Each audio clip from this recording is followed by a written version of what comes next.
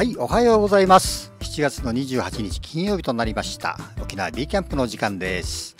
楽しいキャンプが防災につながるをテーマにお届けする防災情報チャンネルです。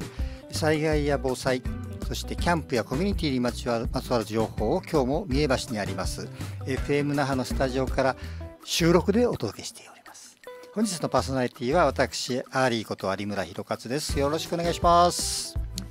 えー、で、えっと、いよいよもう来月8月からですね私たちの待望の宜野湾市の防災リーダー養成講座が始まります。これね今まで何度もね皆さんにお話ししてきてる内容なんですけど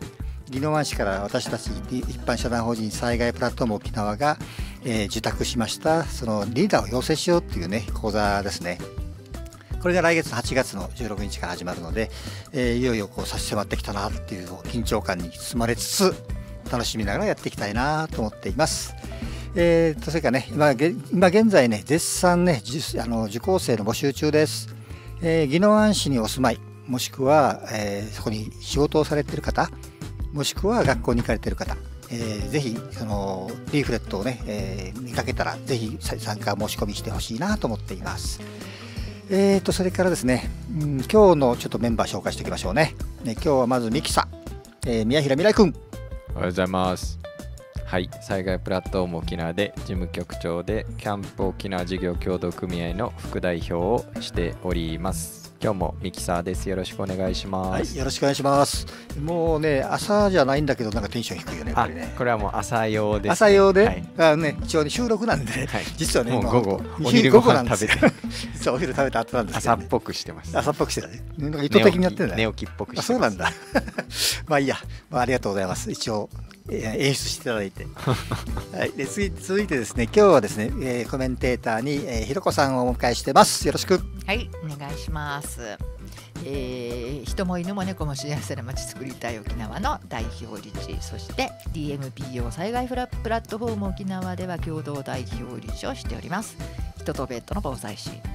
よろしくお願いしますはい、よろしくお願いします。はい、私はパーソナリティのアーリーです。私も一応、えー、一般一応って変だな。一般社団法人災害プラットフォーム沖縄の共同代表ひろこさんと二人でやっています。それから HDC 人も犬も猫も幸せな街づくり対沖縄。長いね。相変わらず。えーこれの一応関係してたり、えー未来くんのキャンプ沖沖縄児童協同組合もおつえーお手伝いさせていただいています。え今日はですね、とっても素敵なゲストを長年の付き合いなんですよ。一応あの簡単に私の、えー自己紹介というか説明するのであと自分で自己紹介お願いしますね。え今日のゲストはですね坂本陽天君って言ってるけど広信さんね本当正式にはね。でやっぱり陽天っていうのがやっぱしっくりくるなあの字がね太平洋のようにね点字の点でねそれで要点ってみんなに言われてて要点の方がしっくりくるよな。一応彼はですね私たちの若さの公民館で立ち上げた防災キャンプの初期メンバー立ち上げメンバーで私たちの一般社団法人災害プラットフォーム沖縄はここからスタートしてるのね、まあ、そういう意味では陽天君は全然こう関わりがないわけじゃなくて十分な関わりを持ってる人でね。で彼は今今度の始まるであろう始まる、えー、宜野湾市の地域防災リーダー養成講座の事務局をやっていただいています。でね、一応熊本出身なのでそこから先はちょっと自分で自己紹介してもらおうかな。お願いします。よてくんはい、はじめまして。はじめまして。陽天と申します。ご紹介はあの今ご紹介いただいたので陽天でさせていでして、えっとですね、1995年生まれです。95年。27歳ピチピチはです。阪神・淡路大震災みたいな、ね本あそうなんですそうなんです。そうだよ。その年の10月に生まれてきました。生誕いたしました。当あら結婚記念日10月。そこ。そこ。大変な思い出とめでたい思い出の年に生まれてきました。えっ、と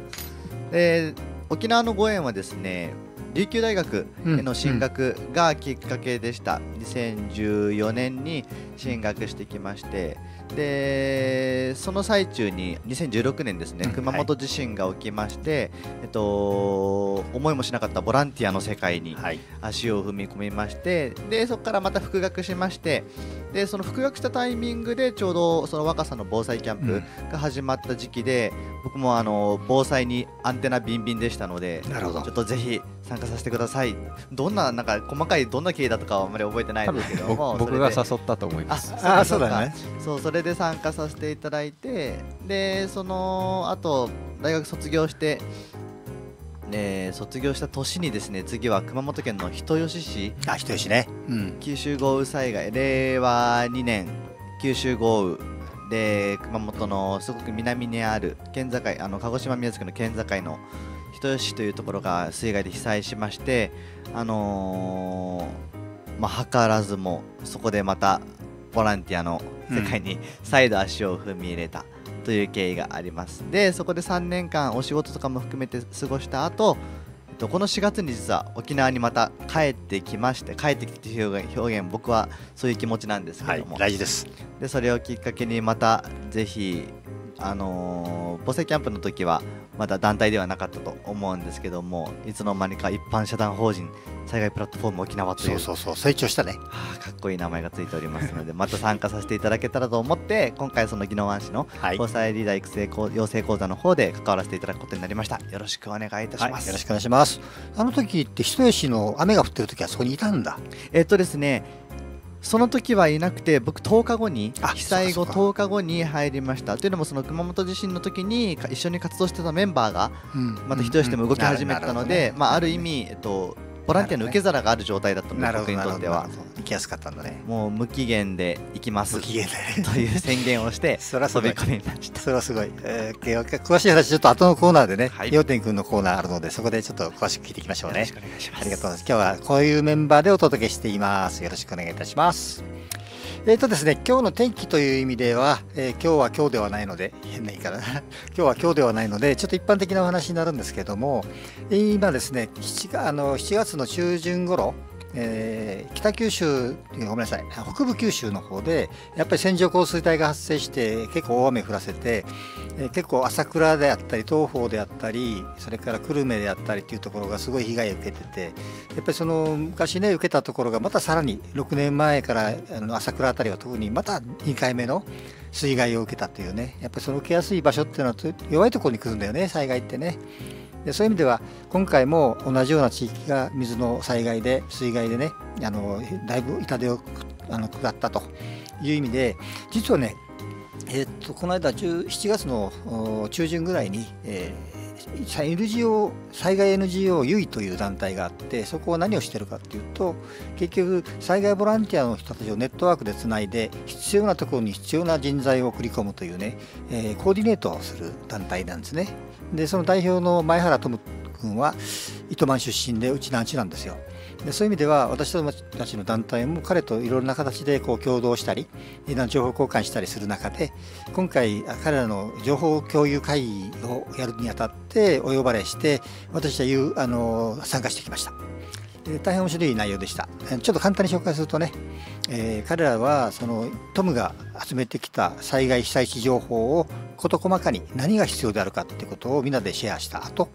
その後それぞれ全国からねそのズームに入ってたんだけど、えー特にテクニカル系あの重機をあの操縦するテクニカル系の人が多かったんだけどそれぞれどこどこにテクニカル必要だよとか土砂かきどこに必要だよとかでどこどこ入れる？入れない？っていう話をねややってました。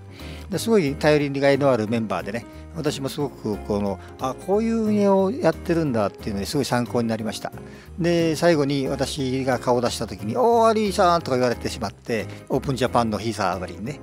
でその後トムが「アリさんいつ来るの?」って言われて「いや私じゃないですよいや未来さんいつ来るの?」って彼に言われてですね、えー未来さんあのプロポーズされてますよどうですか？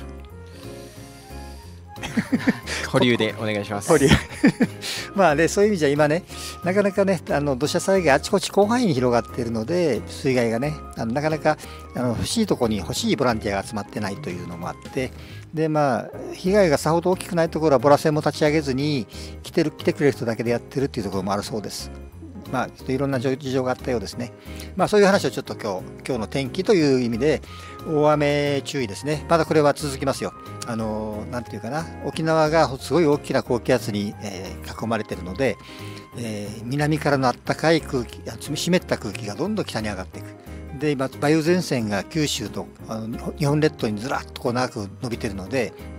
それに向かって入っていくあの暖かい湿った空気が、えー、雨を降らして積乱雲を作って大雨を降らして線状降水帯を作るというの流れになっているのであのエリアに関してはもう絶対こうなっていうかなあの気は緩めない、えー、降った後に晴れてるからといって安心もできない。みたいなね状況になってるはずです、えー、今日の天気という意味ではないですが雨についてはもう大変な被害を及ぼすのでぜひ気をつけてくださいね。ということです。えーとですね、あのこれちょっと時間あるかも言っちゃおうかな、うん、今日の防災ニュースチェックなんですけどね、えー、今夏が始まろうとしています。夏休みも入って学校も夏休み入って8月はもう真っ盛りで皆さん子どもたちも海に行くことも増えると思います、えー、本格的な夏に向かって夏休みの海の事故が増えてきますから皆さん気をつけてくださいね。それと熱中症ね。分かっててもなかなかね、あのー、特に私みたいな年配年寄りはね、えー、暑さを感じないというかな。水が飲みたくてもあの水も欲しくならないみたいなのがあって熱中症になりやすいので皆さんも気をつけてほしいので熱中症注意ライフジャケット食中毒注意してくださいね。よろしくお願いします。えー、っとねちょっとジングルに行く前に少し時間はしてますけども今日は、気象台からの防災メッセージということで7月分ね特に私言いたかったのはこの部分なんですけど先週だったかなひろこさんがパーソナリティの時にあの話したと思うんだけど、まあ、ちょっと重複してるけどいいよね。えー、っとね、えー、7月のハイサイ気象台からの防災メッセージです。急な大雨雷に注意ということでタイトルで上がってます。晴れ時々曇りところによりにわか雨。真夏の沖縄の片いです。片いね。ヨト君知ってるよ片いってね。知らないか聞いたことあるぐらいです、ね、あ、そうか。そうか。まあ、未来はもちろんね、うちなんちだか知ってるわな。はい。はい、片いです、えー。太陽の熱で地面が温められて、その影響で積乱雲が急に発達して、えー、突然大雨や雷、竜巻などの激しい突風が発生することがありますので注意しましょうというのが、えー、今日の急な気象台からのメッセージです。それとね、もう一つちょっと紹介しておこうかな。熱雷って聞いたことあります？ひろこさん。熱雷って。熱雷、あの、それで初めて知りました。ああ、やっぱり見てるからね。質問する相手間違ったな、今日。熱雷っていうのはね、あってですね、熱の雷と書くのね、熱雷ってね。これはね、あの、強い、あの、日射でね、地面が熱せられて、地面付近の空気に熱が伝わって、熱せられた空気が軽くなって上昇して積乱雲となり、雷をもたらす。まあ、今日ね、あの先週の放送でひろこさんが言ってたことですね。まあ、そういうことなので、天気がすごく変わりやすくなるというね、うん、夏はね、それはちょっと気をつけてください。あの天気がていいなと思ってても、急に片振りしてね、あの大雨が降ったりすることもあるので、気をつけましょう。というのが今日のハイサイ気象台からの防災メッセージでした。えー、それじゃあ一回ちょっとここでジングルいこうかな。えっ、と、ジングルお願いします。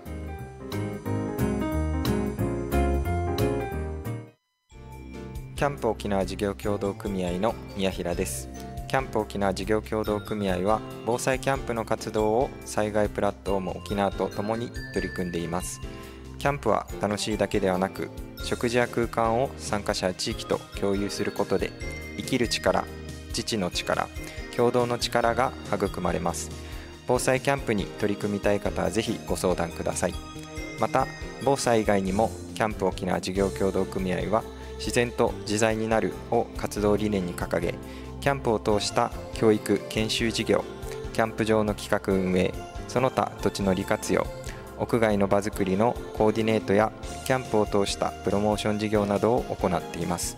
キャンプに関する相談を受け適切なキャンプ関連事業者へつなげる役割も担っています。詳しくはインスタグラムホームページでキャンプ沖縄事業協同組合と検索していただければ幸いです。皆さんと一緒にキャンプができることを楽しみにしています。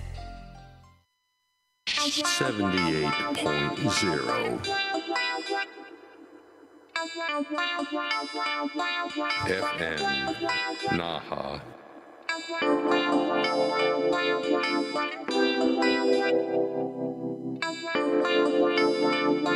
Your radio station.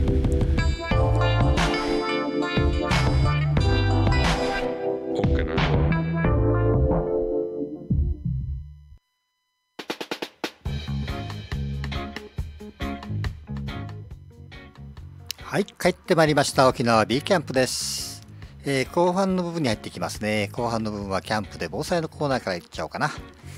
えー、DMPO 一般社団法人災害プラットフォーム沖縄は、えー、防災キャンプの取り組みを通して自助、共助、え、それを通した地域の防災力を高める活動を中心に防災を考えている団体です。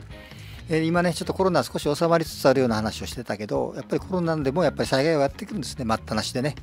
でどんな状況であったとしてもやっぱり災害っていうのは来るのでそれにいつも心の準備をしておくということはとっても大事だと思うのでそういうことをテーマにしている活動中です。えーと、今日のですね防災キャンプキャンプで防災のコーナーはちょっと食のことを取り上げてみようかなと思っています。テーマ的には防災キャンプ×食というテーマでお届けします。今日はね、食に関してはね、ちょっとあの特にコメントを未来君に求めたいなと思ってて、でなぜかというと彼はね、えー、いろいろ食に関することをね、いろいろやってる人なんで、で過去のね、あの防災キャンプの中ではね、やっぱり防災キャンプっていろんな、いろんな形をやってるんですよ、今までね。結構23回か4回ぐらいやってるので、その食に関しては、まず備蓄食を食べたい、食べたとか、あとシェアキッチンといってみんなでこうキッチンをシェアするとか。それから一回ね若狭公民館でやったのはね冷蔵庫に余ってるのをみんな持ってきてでそれを机の上に並べて「はあさあこれで何を作りますか?」ってみんなで寄ってたかって、ね、レシピ考えてね 作ったよねひよさんね。そういうのがあったりそれとかあと熱源シェアね最近はコロナ禍でなかなかこうみんなでご飯を作るとか、うん、バイあのバイキングみたいにすると難しくなってきたので、まあ、とりあえず熱源特にお湯のシェアをしようというのが最近のパターンですかね。キャンプでね。まあそうなんですけどやっぱりこの災害の時にねあの炊き出しとかねそういうのをやるんだけどやっぱりこれもちょっと問題がいろいろあってね。前回ねちょっとこれなぜこの食の話をキャンプとしてるかっていうとえー、っと7月の上旬だったよね、はい、えー、っとうるあのうるまうるま市にあるウルマルシェというところで、えー、講演会があったんですよ。これは何かというと、まあ、あの薬膳をやってる団体が中心になってやった、えー、フォーラムみたいなもんなんだけどなんと私たちの災害 NG 災害 NGO 優位のトム前原先ほど話してた。彼がね講師で呼ばれてる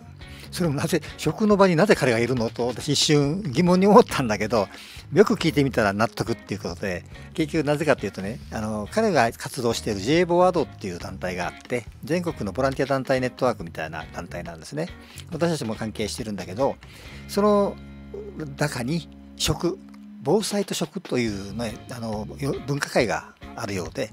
でその関係で J ボワードの人まあ厳密には J ボワードっていうのも味の素なんだけどね。味の素さんの紹介でトムが薬膳で沖縄で講演会やると。なぜかひろこさんはねその関係者なんだよね。関係者というか、はい、そこから声がかかって、うん、声がかかって、えーと、その後の基調講演の後にワークショップがあってそうだね、はい、ワークショップの中で、えーとはい、ペットの食とストレス。あそう、ペットの食とストレスだったね、はい、やりました。あそうだよね、うん、結構ね面白いプログラムだって前半に講演会があった後に後で分科会的にねそうそう。お給の人とかね。あそうお給いたね、うん、いたね。なんか要求手当とかみたいなね、はい、いろいろやっぱり防災に関わってまた食かける食みたいなのがね、テーマだったから、はい。まあその中でねいろいろ話が出たトムの中に質問が出たね人がいてね、この中で災害の時の炊き出しは保健所は大丈夫なんですか？みたいな話が出て、まあ、実際はトムも話してたけど私はその熊本の、えー、立野っていうとこ南阿蘇の立野っていうところから避難した、うん、人たちが小津町というその南の方の町の本田技研のオートバイのね本田のね避難所に500人ぐらいいてでそこで私たちの団体が炊き出しやったんですよね、すごい喜ばれてね喜ばれたんだけどやっぱり最後の方でどっかの保険あの炊き出しのところで食中毒出しちゃって、うん、我々ももう検査が入ってねもちろんうち完璧にやってましたよ。その厨房外の厨房だけど入る時にはちゃんとあの閉鎖して誰も入らないようにしてあって入る時は靴のし靴の底の消毒エプロン、えー、ヘッドカヘッドカバーとマスクと手袋全部完璧にやってたんで全く問題なかったんだけど、うん、やっぱりそういう食中毒出たので全面的に熊本市内のこの県内の、えー、炊き出しは中止ですというふうに言われちゃってね、まあ、これはまあ、その質問した人がその沖縄県ですごい偉い人だったんだけど職人ね。いや何て言ったやったっけ？忘れたけど。うんまあ、その団体の方が言ってたのは私たちもそういうふうな活動で一応シミュレーションしたいんだけどどうなんですかって話を質問してたんだけど、まあ、ちょっと私も出しゃばって知ってたもんだからついついそれに答えちゃって、まあ、要は結論から言うと災害の時だからある程度多めに見られてるけど本来だったら食提供は全て保健所の許可を取った上でやらなきゃいけないという話です。まあ私はちょっとあのそれ以外にもね阪神・淡路大震災ちょうど陽天君が生まれた年1995年に私は阪神芦あの芦屋の市民センターというところで、えー、沖縄食のボランティアをしました。一月ちょっとやったかなその時にもね全然保健所なんてもう寄与しない。まあそんなこと言ってられないっていうか災害ボランティアなんていうのもその時から始まってるからね、そういうことがあったりしてね、まあ、そういうの中でいろいろな食提供っていうのいろんな課題があるんですよね。まあ、人間生きていく上で食って大事だからそこでねちょっと日頃からね食に関してっていうよりも健康に関してだね。その未来君が取り組んでるのはね、はい、そのちょっと取り組みてる団体のこう取り組み方っていうのをちょっと教えてもらっていいです？取り組み方、うん、うん、何をテーマにしてやってるかとか。もともとは食ですね。で組織の大きなビジョンとしては健康長寿沖縄の復活とか、はいはいはい、健康長寿ね、はいえーと、県産の食材の消費拡大とかが、うん、まあ、メインではあるんですけど、うん、まあ、僕が関わってる部分はどちらかというと、まあ、健康経営っていって企業の中での従業員に対する健康をしっかり取り組みましょうっていうものですね。で事業の背景としてはやっぱり健康長寿っていうイメージが沖縄まだありはするんですけど正直今な蓋開けるとそうでもなくて。で実態としては高齢者はまだ元気なんですけど働いてる世代の、まあ、健康状態がめちゃめちゃ良くないっていう感じですね。でやっぱり5年に1回あの平均寿命の数値も出るんですけど年々沖縄下がってきています。男女ともに、うんうん、1985年は両方1位だったんですけど、うん、そこからどんどん今下がっていて、今何位ぐらいなんだえっと、今女性が16位で男性37位ぐらい。ね下がったもんだね。だったと思います。どどんどん下がってるんですけど、うん、でもっとやばいのが有所見率って言ってあの検診で、まあ、健康診断で引っかかる人、はいはい、要観察とか要治療の方が有所見率っていうんですけどが、えっと、今7割えー、すごいね。7割も引っかかるんだ。はい。まあ受けてる人の7割ですね。受けてる人なので下手したらもっといるかもしれない。潜在的にいるよね。はい。半分以上いるんだね。で一応まあ全国的にも上がってきてはいるんですよパーセントは。はい。ただ沖縄は今11年連続トップです。悪いの方要はワースト1位。ワースト1位ってこと。あすごいですね。なのでありえないね。本当に数値としては、うんやっぱり状態として良くなくてで今までまあどちらかというとその健康長寿危ぶまれ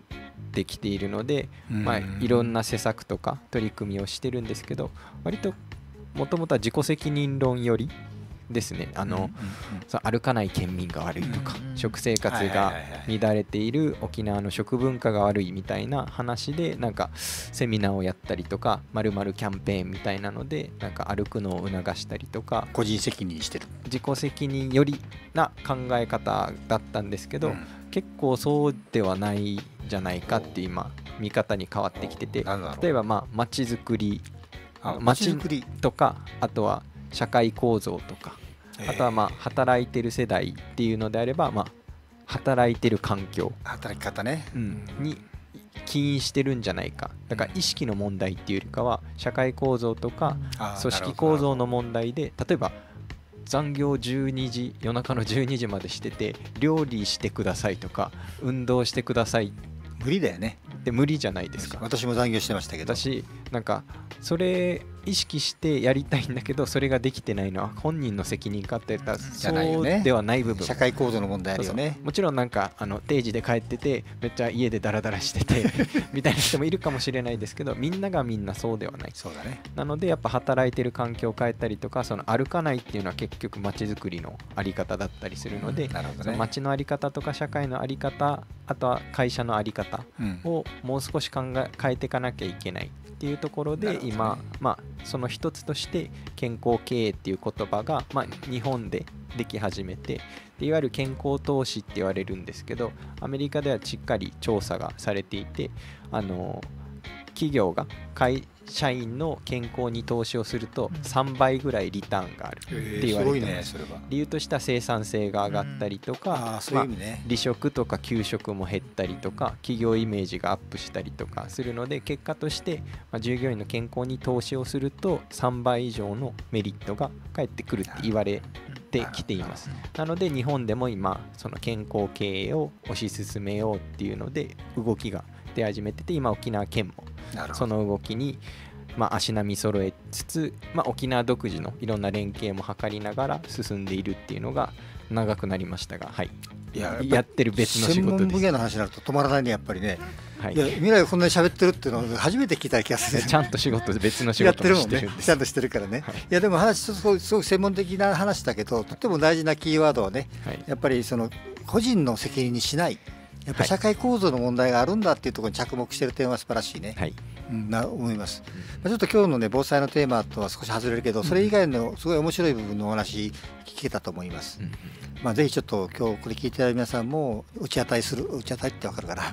の聞くってする。そう。あの自分でちゃんとそれを、うん自覚して会社の皆さんと一緒に話し合いを進めるっていうのも大事かもしれませんね。まあ、でもちょっと食の話に戻すとはいですね、戻ってください。もうそうですね、まあ、要するに災害現場において食を考えるってすごい難しいテーマなんだよね。うんうん。実際にさ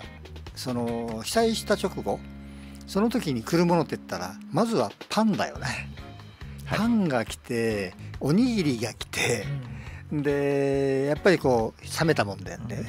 あったかいもんまず来ないんだよね。はい。だから私がやってる炊き出しっていつもあったかいもの出してたからそうするとめっちゃ喜ばれるもうひどい時なんかおばあちゃんが俺の手掴んだまま離さない。もう泣きながら「ありがとうありがとうありがとうありがとう」って私はもう生き返ったよって言ってくれたの。もうあれだけ見ただけでこっちがボロボロ泣いてるというね、まあ、そういう意味で食っていうのはやっぱり被災してたとしてもやっぱ生活するという避難所の中でも生活だからね一応ね。生活する上においてやっぱり人間が生きていくために食べなきゃいけない。でその質を落としちゃいけない、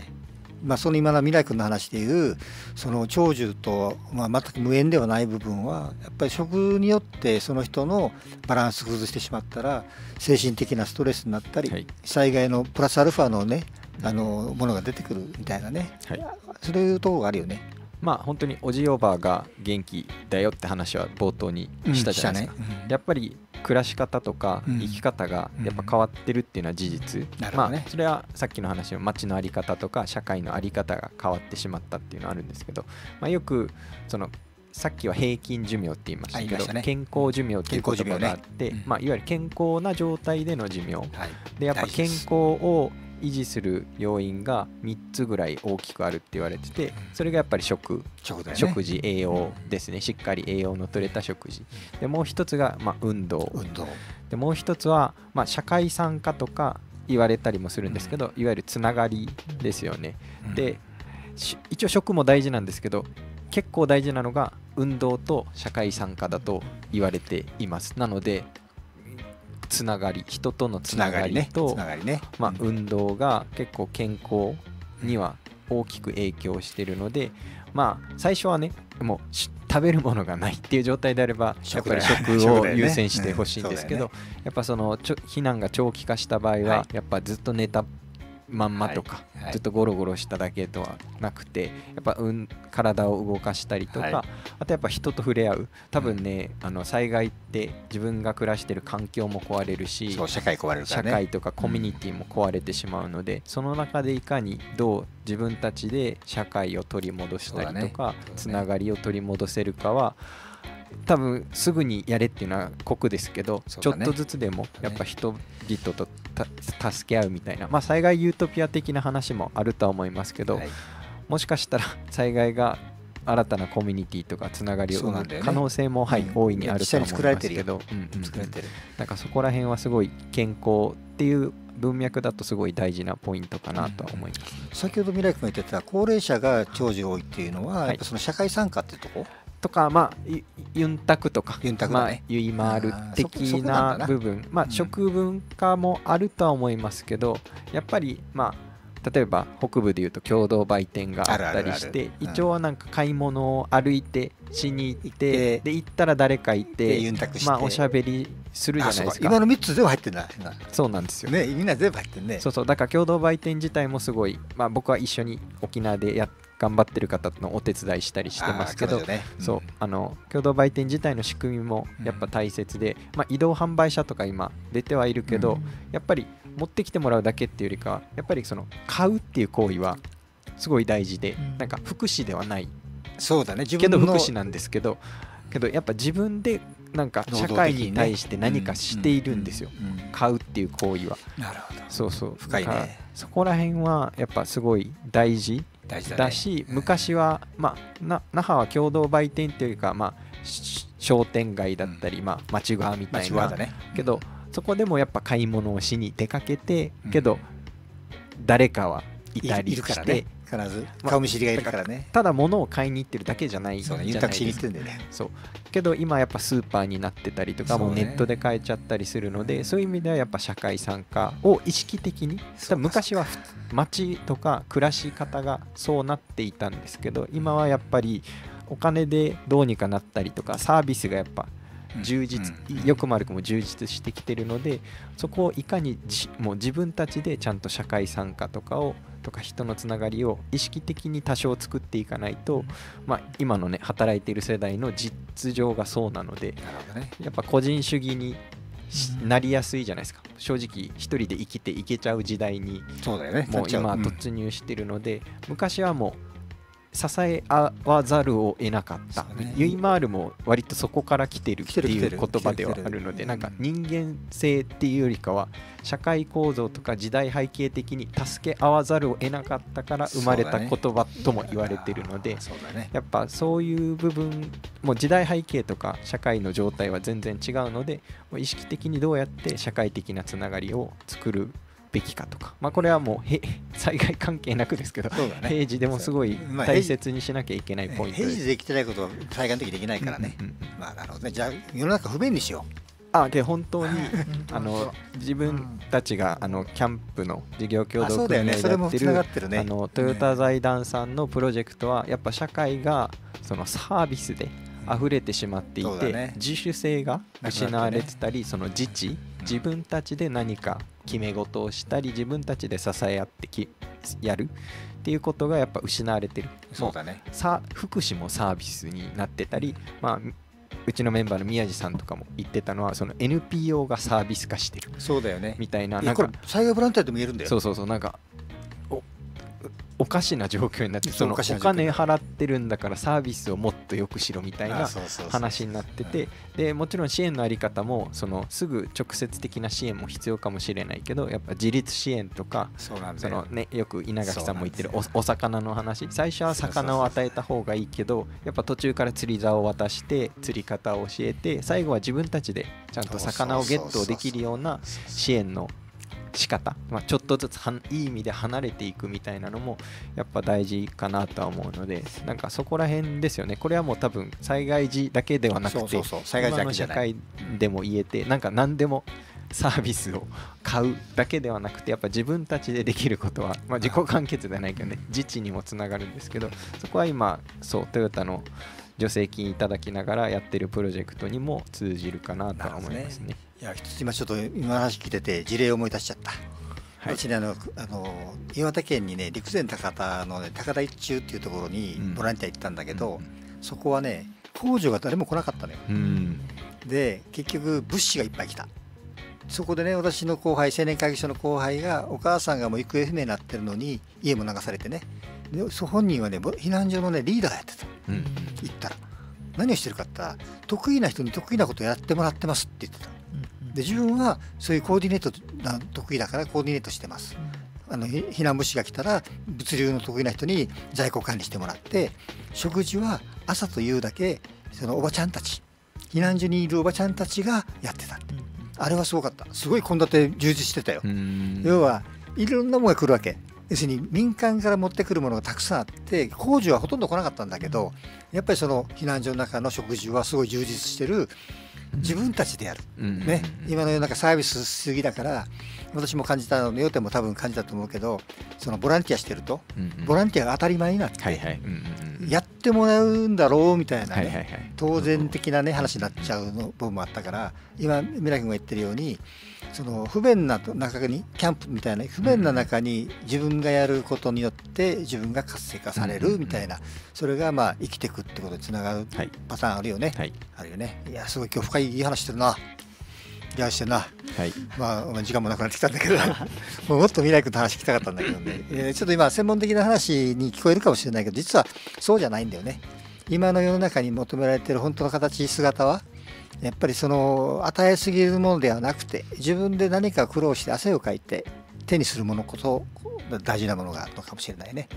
でそうすることがまあ健健康長寿につながったり、うんで災害現場でも同じことが言えると思う。やっぱり私も今までやってきて感じたのはやりすぎてるなっていうボランティアいっぱいあってね、あとこはね農業ボランティアって言いつつも本人はカラオケしに行ってるのに ボランティアの皆さんが汗流して雑草取りしてるみたいなね、これはちょっと私も文句言ったそのうん別の組織だったけど、うん君たちやってるのこれボランティアと言わないよって、うん押し付けだよって、自己満足だよ、うんまあ、そういうボランティアも実際にあったからね、うんまあ不便な世の中だからこそなんか役に立つことがあるかもしれないね。うん。うん今日は防災防災キャンプと食というテーマだったけど別のいい話になっちゃったね。はい。ぼ僕は食の専門家ではないので。いやいや大丈夫大丈そうそう夫いやそれも含めて、はい。含めてね。食の専門家としての話じゃなくてね、うんうんうん。人が災害の時どうやってね生きていくために食べ物があってそれは何のためなのかというお話が聞きたかったから、うんうんまあ、そういう意味でその社会問題だっていう点をね、すごく大事な点だと私は思います。はい。はい、それじゃあ一回この防キャンプで防災のコーナーをあの畳みたいと思います。よろしくお願いします。毎月第2日曜日は那覇新都心公園へ。私たち一般社団法人 DMPO 災害プラットフォーム沖縄と一般社団法人 HDC 人も犬も猫も幸せな街づくりたい沖縄は毎月第2日曜日那覇新都心公園緑化センター前集合でワンコと一緒にワンワンゴミ拾いをしています。そして新都心公園緑化センター隣の芝生広場で防災を日常にをテーマに防災ユンタクどころ防災カフェプラットを開催しています。毎月変わる防災テーマを日曜日の楽しいひとときご一緒にユンタクしませんか？ワンワンゴミ拾いは朝8時から9時。防災カフェプラットは朝10時から13時までやっています。詳しくは Facebook、Instagram でお知らせします。もちろん参加無料ですが飲み物やお昼ご飯などは持ってきてくださいね。多くの皆様のお越しをお待ちしています78.0 FM Naha.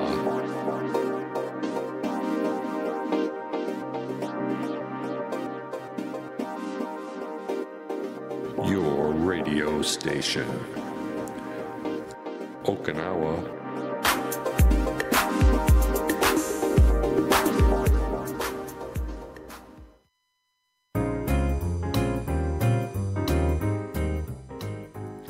い帰ってまいりました。沖縄 B キャンプです。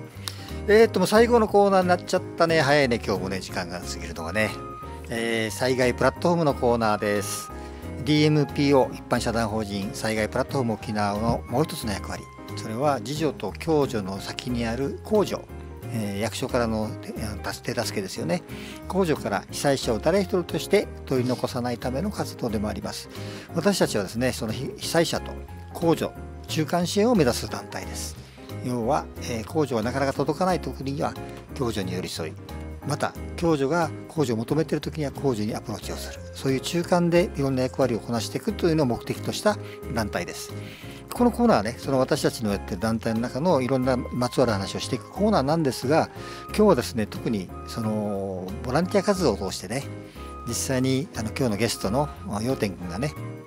何を感じたかっていうのをちょっと聞いていこうかなと思ってます。まあね、特にあの熊本でやってるからやっぱり水害だよね今回ねやっぱり人人吉でやられたし水害だしで今問題になってるのも水害だしね、うん。まあ、水害に限らず要点が今被災地でねそのどんな風なあの被災地のね姿だったのかとかねそれにちょっと話聞かせてもらおうかあーなかなか大きいな 大きい？テーマですけど、えっと今回僕があ今回というか2020年のうん。令和2年九州豪雨災害うん。は、えっと、コロナ禍初の災害っていうふうに言われてまして、えっと、初めてあの県外からのボランティアの流入をが規制された？規制されたね。県内オンリーになったね。そう、うん、多分本当に初めての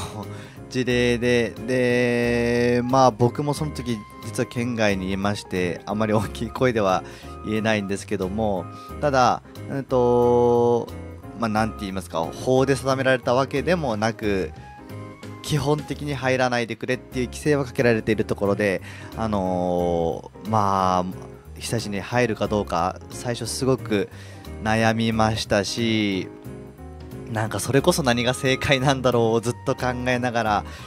ある日は23日ですかね悩み続けてなんかもう苦しくなるぐらい悩んで何が正解なんだろうどうしたらいいんだろう自分にできることは何だろう外からもでもできることあるしなとかいろいろ思いながら2016年の熊本地震でなんかいろんな支援の形を見てきたので、うんうん。中に入るだけが災害支援ではないっていうのは分かりつつ、そうだね。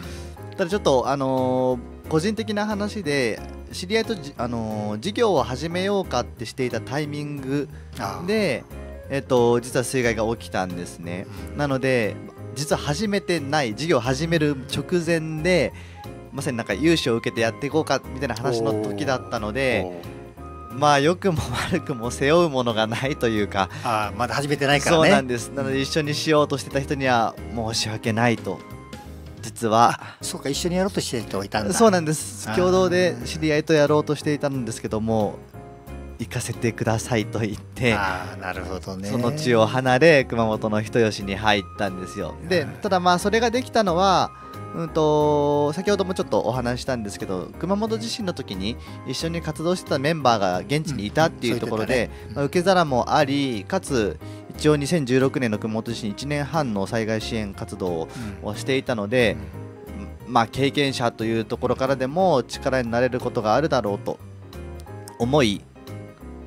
決断して人吉に入ったっていう流れがありました。なので、えっと、現地でボランティア入ってからもずっと議論は続いてました、あのー一応民間の団体ではあったので県外からのボランティアどうしようか受け入れようかそこはなんかもう本当に基本的にやっぱりボランティアする方々思い強い方がたくさんいるのでもうそんなの知らない目の前に困ってる人がいるんだったらもう入ろうよ入れようようん。うん。っていう人もいればいやそれはもう団体のうんなんだろうな。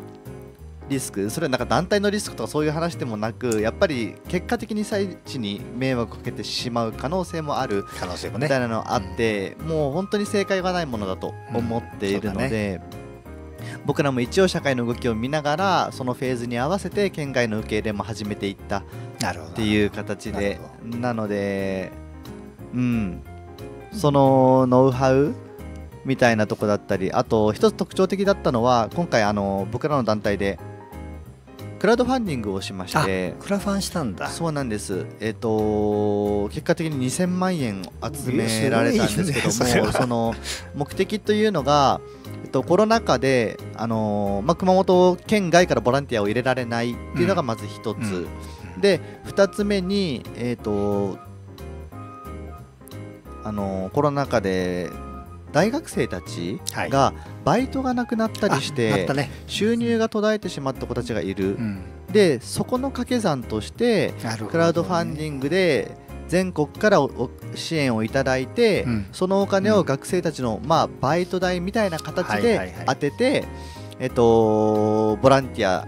として動員したあ新しい形だね。そうなんですよ。まあもうこれも本当賛否両論あるかとは思うんですけども、結果すいませんちょっと総勢わかんないんですけども、えっと、その支援のおかげで学生の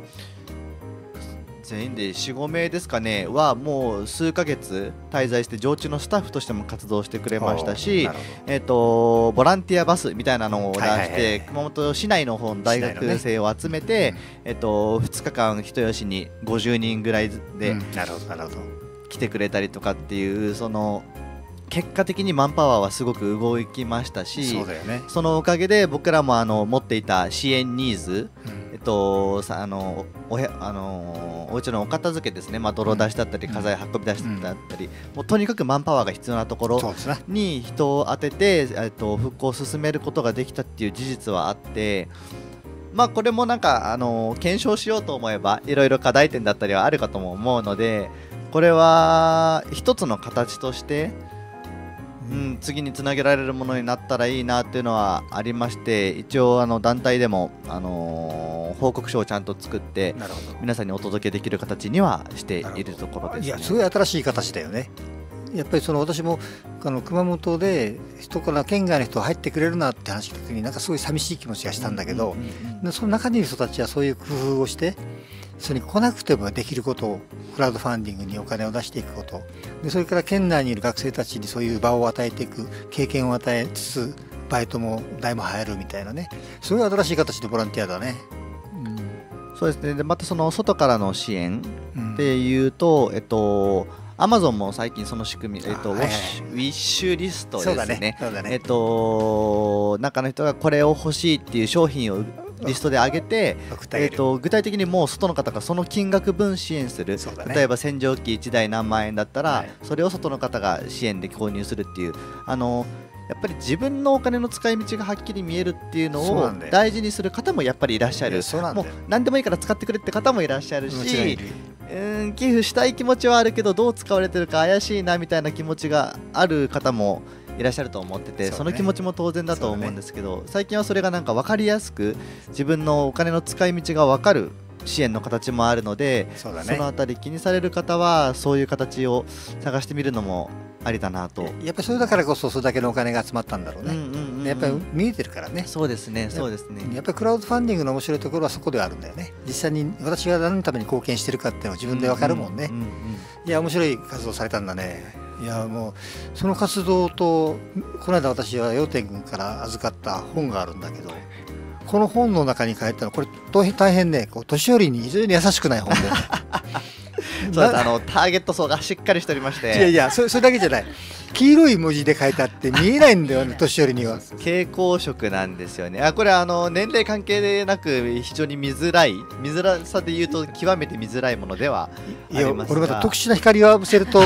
見えるのかなと思ったりして光いろんなの浴びせたんだよ。よく言えばあのファッショナブルに作られている。まあ内内容が優しくないっていうよりかはそうそうそう。デザインがデザインが優優しくないってことですよね。そういうことです。そこは注内容はいい。意してください内容はいいよ。そう内容はめちゃめちゃいいっていうことは、うん。はい。そういろんな人がね体験したことをみんなそれぞれの立場でそれぞれの見方で書いて綴ってるからすごい面白い文章だと私は思います。でもうこの中でね私もちょっとすごいもうあの時間がなくなってきたんで早速本題に入っていくんだけどこの中で私がね引っかかった引っかかったというか心にこうすごく刺さった言葉がね3つあった。なんていうかなあの他人事が、えー他人事がね他人他人がですよ現場に飛び込んで他人事だったのが自分事になったとかね。これは私もいつも思ってること。でそれからね一番刺さったのはここだな。大切なものは目の前にいる人にとっての何が必要なのかを想像すること、まあ、これはね私もいつもボランティアやってる時にねいつも思う。やっぱり相手が求めてないことをやったってそれはボランティアじゃないんだよね、うんどう思うこの辺要点この辺の言葉って。あもう痛いほど痛いほ痛感しておりまして、うん。これあの僕熊本地震の時だったんですけどもあの実はちょっとコミュニケーション僕のコミュニケーションのせいでというかうん。被災者の方を傷つけてしまったことがあってもうこれはもう一生忘れられない出来事に自分の中でなっていてでこれってそのひ何が必要なのか具体的にそのどんなものが必要なのかって目線も大事ですしどんなコミュニケーションを求めてるのかっていう視点の方が僕は結構あのメンタルケアの側面で災害支援に携わることが多かったのでだ。そういうのも含めてなんかどんなコミュニケーションをその方が求めているのかをえっともうこれは本当にその目の前でコミュニケーションを取りながらん掴んでいくしかないんですけどもその視点もすごく大事。聞いてあげることあそうですね。お話を聞く聞かせていただくことが大切な時もあれば具体的にじゃああなたこんな支援があるからそこにつなげますねとか行政でこんな支援があってっていうプッシュ式にこちらから情報をお伝えすることお伝えすることが大事な時もあればでそれって、えっと、人によって変わるというよりも人によってもフェーズによってもやっぱり変わる。ね。時期によってね今は聞いてほしいだったり今はとにかく具体的な支援策が欲しいだったりそうだね。そのあたりってえっとまあボランティアとして携わるときに見極め？すごく難しいところではありますけども、う。んその視点を持っておく。そのアリさんがおっしゃった目の前のにいる人にとって何が必要なのかを想像する。もうこれが一番重要なこと、うん。でそれに沿って自分の行動言動提供する情報ものを適時変えていく必要があるっていうのが大切なことかなっていうのはすごくすごく感じいややっぱり一方的にさ自分はこれができるからこれをやりましょうね。じゃないんだよね、やっぱそれとあくまでマッチング。そうなんだよ。マッチングなんだよ。必要としてないものをやられたって嬉しくもなんともないもんね、うんうんうんやっぱそこなんだよね。だから、あのーさあの避難所の先ほどのお話でもあの得意なこと得意な人が得意なことをする。それもすごく重要でかつ同時にやらなきゃいけないのは必要な人が何を必要としているかのそうだね。ニーズ評価。そうそうニーズの聞き取りもやっぱり常にしていかないといけないなっていうのは、あるよね。さっき聞いてて感じたところでした。そこ大事だと思うよ。うん。やっぱりそれはマッチングという言い方もそうなんだろうけど、うん。やっぱりその相手のその目の前にいる人のことをね自分が分かり合えるという、うん。分かってあげられるっていうかな、自分ができることと相手がしてほしいことのそのやっぱりお互いの心の通じているところかな、うんうんまあそこがねちょっとこの2つ目のね大切な目の前にいる人のことをねうん。分かる分かるということ。をすごく私ボランティアやってる時に私もそれを感じた部分、うんうんすごいボランティアっていろんなやり方あるからさ。そのボランティアセンターから派遣されるボランティアももちろん大事だと思うよ、うん。うん。思うけどそれは彼らはその目的やることがもう決まっててうんうん。そこに行ってやるわけよね、スコップ渡されてうんどの床下の泥をかく。もしくはね屋根に上がってブルーシート貼るんみたいな話で実際の被災者とのコミュニケーションってのはないんだよね、だけど本当の意味ではやっぱり被災者はさっき言ったみたいにただ単にユンタクしたいユンタクという話したい、うんうん。さっきあの食の話でもね未来君言ってたように、うん。やっぱりその買い物が目的じゃなくて、うんうん。行った先でいろんな人と話ができるそういう場を求めてるみたいなね、うんうんうんそういったところがあるよね、うんうん。まあなその辺のうんボランティアって難しいね いやもちろんだけどね最後にちょっとねまだ時間も最後の音楽になっちゃったけど、はいはい。一番大事な点私こここだと思うのよね、えっとね私はその災害プラットフォーム沖縄をやってる最大の理由は何か自分にできることでひ一人でも助けたいという気持ち。でこの本に書いてあったね。助けたいという気持ちが原動力だって書いてあるね。要するに要はなんていうかな。自分が何ができるかという考える前にね自分がそういうふうにこう誰かを何かを幸せにしたいとか命を救いたいとかそういうものがあってうん。初めてうん。相手の気持ちを組もうとするからね。まあそれねちょっとねあの要点が向こうでどういうふうなことをそういうふうに感じたのかなっていうのもねちょっと今日聞きたかったんだけどね。うん。聞きたい点なんだけどね。もうあの今のお話に完全に同意ではあるんですけども、その多分このやっぱり助けたい何かしたいって出てくる気持ちってかなりナチュラルにね。あのそれが浮かぶのが正解でもないしそう思わなきゃいけないっていうことは全くないんですけども浮かんだ時になんかやっぱりその気持ちはすごく大切にできるといいなっていうのは自分自身でもすごく思って、うん。助けたいと同時に例えばその人吉だったらでも現地には行けないしでコロナ禍で規制かかってるし何もできないよなっていうその自分の助けたいという純粋な気持ちを何かがデモで封鎖してしまうってことって、特に県外にいるあの被災地の外にいるとたくさん理由をつけてその気持ちをとどめちゃうことってあるかもしれないんですけど探そうと思えばいろんな支援の形がある。そでそれをまあうん。現地側が発信できていないっていう現状は正直あるとは思うので、うん。そこの仕組み作りは必要かもしれないんですけどもその湧き起こった感情はぜひそのまま抱きしめて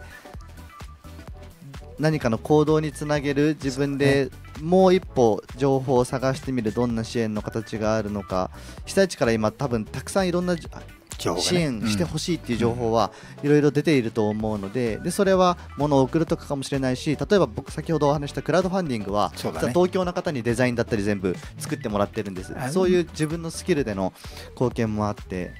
ぜひ自分の助けたいの気持ちを何か行動につなげていただけたら嬉しいなあそれも本に書いてあったね、そういう話があったね、遠隔でもできること、うんその気持ちが大事なんで、うん。それがあればどこに行っても関係ないって話だから、うんまあね、そういう意味じゃ、ね、ひろこさん、今日ちょっとあまりこう喋る機会なかったんだけど、やっぱりその、ね、災害 DMPO の、ね、代表一緒にやっててね、はい。やっぱりその辺の話っていうのはすごくやっぱりうん勉強になるよね。うん、本当まあボランティア私はそういう大きなボランティアとかはしたことはないけれど、うん。でもそうじゃなくってなんかねここでやっぱりそのまあ思ってるとか、うん。なんかちっちゃなことでっていうのはみんなそれぞれやってることはあるかなって、うん。あるね。うんあるある。いうのはあるから、ねボランティアって名前をつけなくても、